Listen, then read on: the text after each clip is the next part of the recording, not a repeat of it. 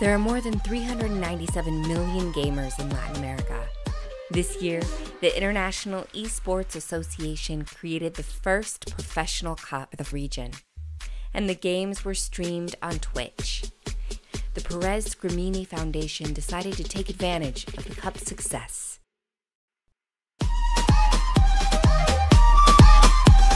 Hoy es el Día Internacional contra el Cáncer Infantil, por eso los jugadores están saliendo a la cancha con la cabeza rapada. Se está llevando a cabo un extremo de beneficio entre IESA y la Fundación Pérez Escremini por la lucha contra el cáncer. Hay una posibilidad de poder ayudar y está en todos nosotros. No te pierdas los partidos a través de este link. Con la cabeza rapada en la Copa Elite para juntar fondos. Todo lo que uno da, vuelve. Eso así. Ah, impecable. Qué bien que estuvieron.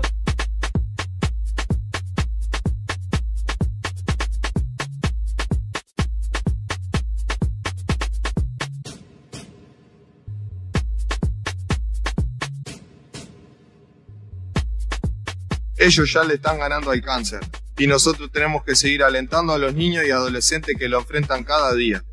Fundación Pérez Escremini, curando el cáncer infantil.